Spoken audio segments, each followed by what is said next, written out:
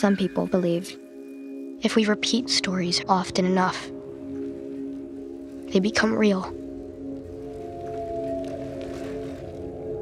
They make us who we are. That can be scary. Eat it, Harold.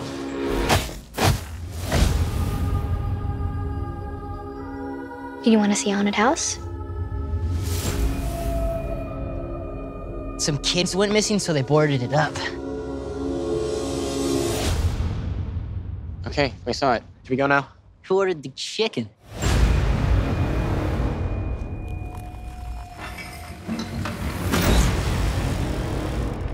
What's that? It's a book of scary stories.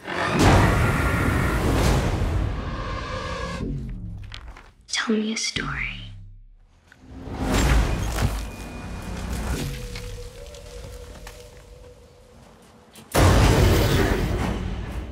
Hey, what's going on? Tommy's missing. Tommy's name was in the book. There's no way it's actually connected, right? Okay, what if what happens in the book is exactly what's happened for real? Oh my god. Auggie! Stella! Listen, you're in the next story. We're reading it right here.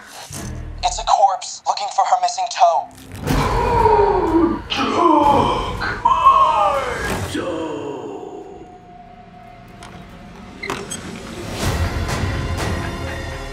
I'm afraid that we woke something up. You shouldn't have taken the book. We've got to stop it.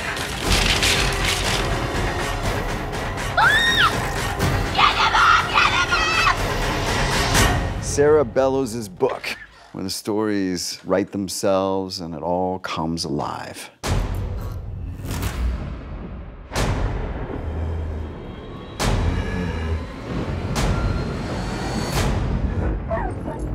The Jangling Man is coming.